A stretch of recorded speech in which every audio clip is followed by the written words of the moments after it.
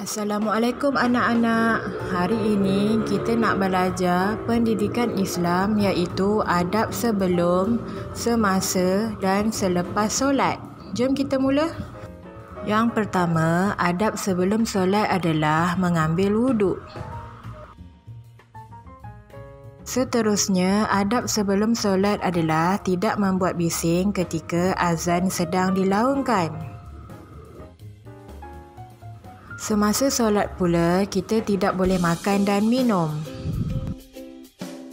Ketika solat juga, kita tidak boleh membuat bising dan bercakap.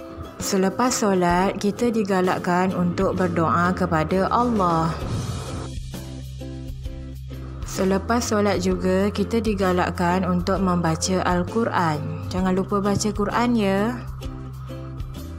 Terima kasih. Alhamdulillah. Assalamualaikum.